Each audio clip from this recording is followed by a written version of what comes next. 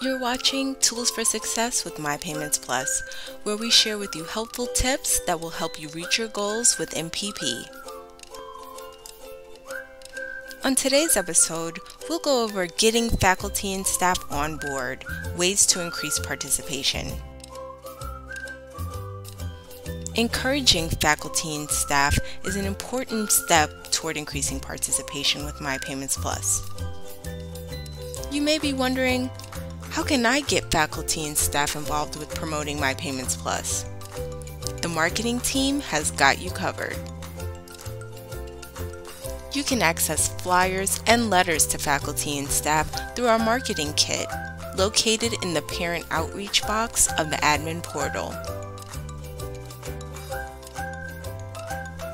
You can also request an e-blast to faculty and staff encouraging their promotion of My Payments Plus. Simply email our marketing team at marketing at mypaymentsplus.com. Thank you so much for watching. Need more info?